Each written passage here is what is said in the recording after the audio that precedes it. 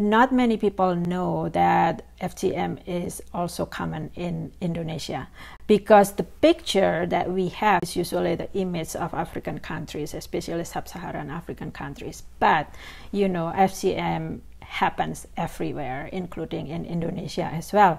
This this is also one of the factors that I also would like to debunk. And I think that is very important for us to realize that it's not just the problem of people in certain countries, but it's a global issue.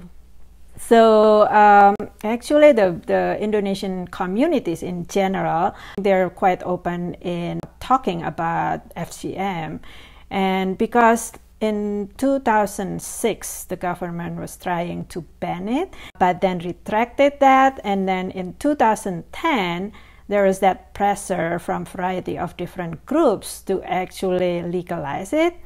And the government stepped in and then issued a kind of government regulations that it's okay as long as it was conducted by medical uh, professionals. So it's very public in that case. But even before then, you know, because it's part of the people's daily life, so they talk about it. But in terms of people talking in public, I think it's it's quite common there.